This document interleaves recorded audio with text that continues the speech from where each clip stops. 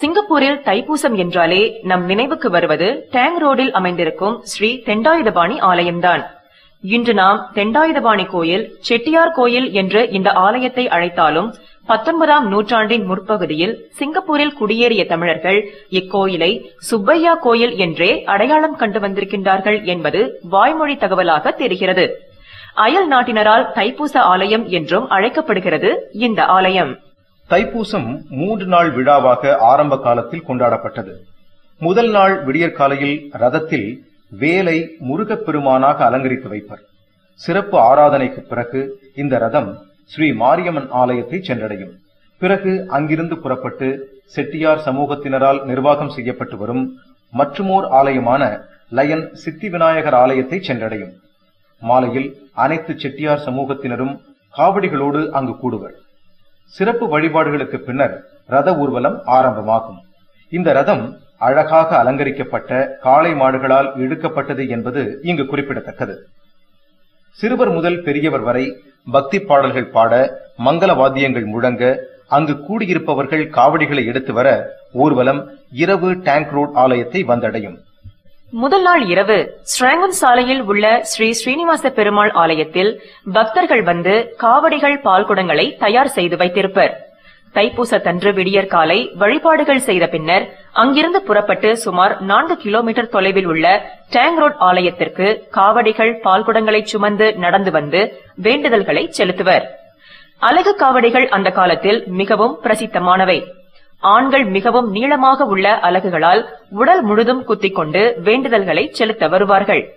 பொதுவாக பெண்கள் பால் குடங்கள் எடுத்து வந்து வழிபடுவர்.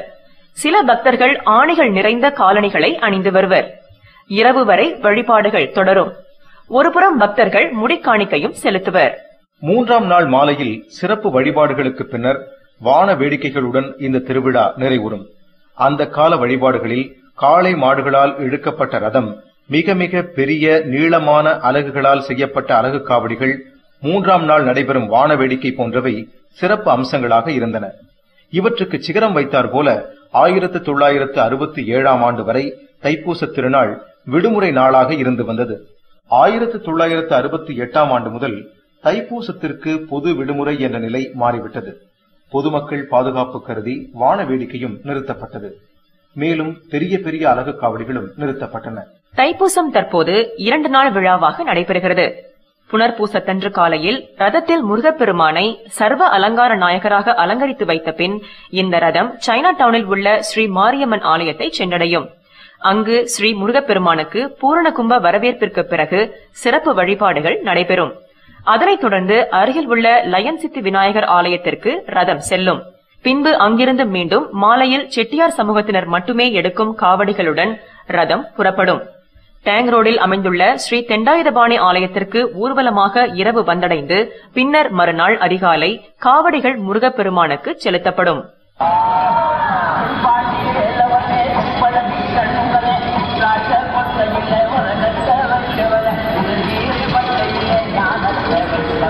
இரண்டாம் நாள் விடியற்காலை ஸ்ராங்கூன் சாலையில் உள்ள ஸ்ரீ ஸ்ரீனிவாச பெருமாள் ஆலயத்தில் வழிபாடுகள் செய்த பிறகு பக்தர்கள் காவடிகள் பால் குடங்களுடன் அங்கிருந்து புறப்பட்டு சுமார் நான்கு கிலோமீட்டர் தொலைவில் உள்ள டேங்க் ரோடு ஸ்ரீ தண்டாயுதபாணி ஆலயத்திற்கு நடந்து வந்து வேண்டுதல்களை செலுத்துவர்.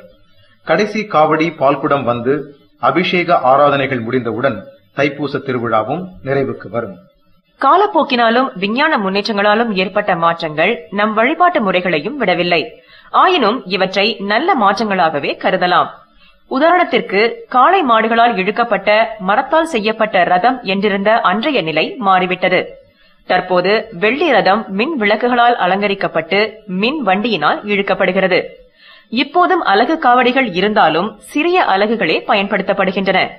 நாற்பத்தி எட்டு நாட்கள் விரதமிருந்து காவடி எடுப்பவர்கள் இருந்தாலும் சிலர் உடல்நிலை வேலை சுமை கருதி ஏழு நாட்கள் விரதமிருந்து காவடி எடுக்கிறார்கள். தற்போது நடந்து வரும் தைப்பூச திருவிழாவின் மிகச் சிறப்பான அம்சம் என்றால் பிற மதத்தினர் முக்கியமாக சீனர்கள் எடுக்கும் காவடிகளை குறிப்பிடலாம்.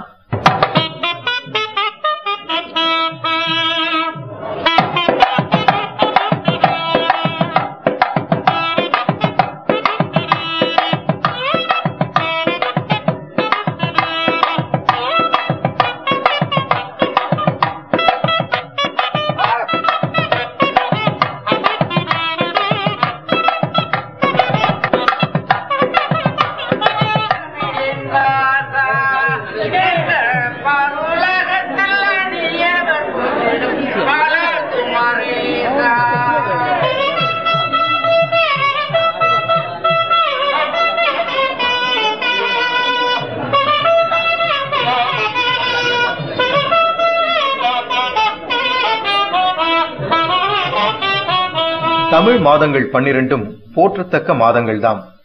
ஆயினும் தை மாதத்திற்கு தனிச்சிறப்பு உண்டு. ஆம் தை முதல் நாளை உலகெங்கும் உள்ள தமிழர்கள் தமிழர் திருநாள் என்று கொண்டாடுகிறார்கள். அப்படிப்பட்ட தை மாதத்தில் பூச நட்சத்திரமும் பௌர்ணமியும் சேர்ந்து வரும் நாளை தைப்பூச திருநாளாக தமிழர்கள் கொண்டாடி வருகின்றனர். தைப்பூச திருநாள் தமிழ் கடவுள் என்று எல்லோராலும் போற்றப்படும் முருகப்பெருமானுக்கு உகந்த நாள். அன்றைய தினத்தில் முருகப்பெருமான் குடிகொண்டுள்ள அனைத்து ஆலயங்களிலும் முருகப்பெருமானுக்கு சிறப்பு அபிஷேகங்கள் ஆராதனைகள் செய்து போற்றி வழிபடுகின்றனர். நாம் போற்றி வணங்கும் தெய்வங்கள் பல இருக்க முருகனுக்கு மட்டும் ஏன் இந்த நாளில் சிறப்பு வழிபாடுகள் செய்கிறோம்? இதற்கு புராணங்களில் பல கதைகள் உள்ளன. அவற்றில் சிலவற்றை இப்போது பார்ப்போம்.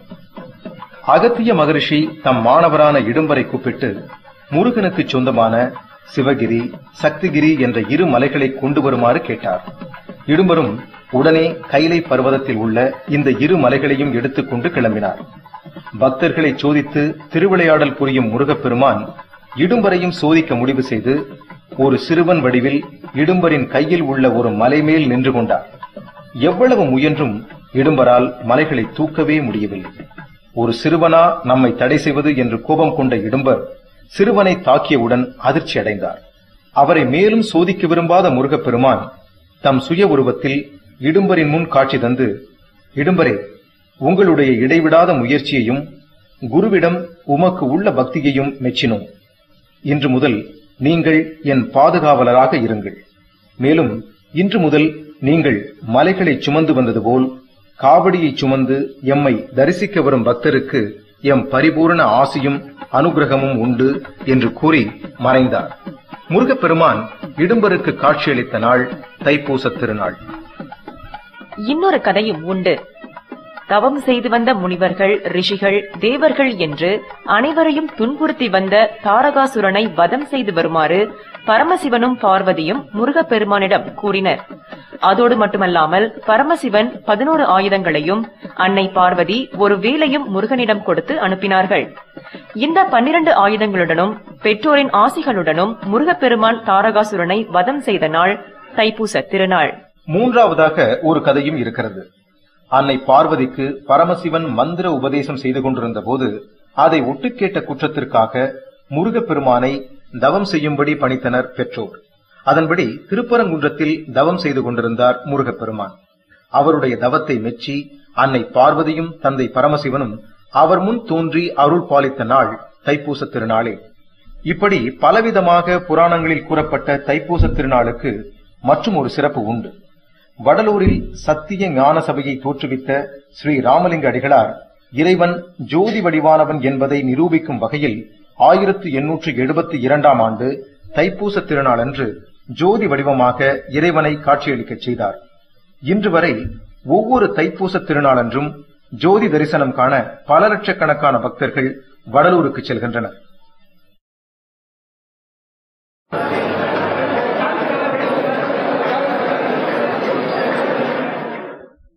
தைப்பூசத்தன்றே நடைபெறும் அனைத்து பால் அபிஷேகங்களும் ஸ்ரீ லயன் சித்தி விநாயகர் கோயிலிலிருந்து வரும் அலங்கார வேலுக்குத்தான் நடைபெறுகிறது என்பது விழாவின் சிறப்பு. தைப்பூசத்தின் சிறப்பை கூறும் கதைகள் பல இருந்தாலும் இடும்பன் மலைகளை தூக்கியது போல உலகெங்கிலும் உள்ள பக்தர்கள் காவடிகளை ஏந்தி முருகப்பெருமானை தரிசனம் செய்து அவனது ஆசி பெற்று வருவதே தொன்று தொட்டு நம்மிடையே வளர்ந்து வந்திருக்கிறது. தென்னிந்தியாவில் உள்ள ஆறுபடை வீடுகளில் ஒன்றான பழனியில் தைப்பூச திருவிழா மிகச் சிறப்பாக கொண்டாடப்படுகிறது.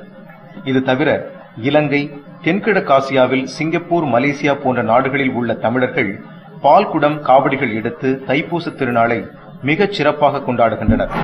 அத்துடன் உலகெங்கும் உள்ள அனைத்து முருகப்பெருமான் ஆலயங்களிலும் சிறப்பு வழிபாடுகள் நடந்து வருகின்றன என்பது மற்றும் ஒரு சிறப்பு.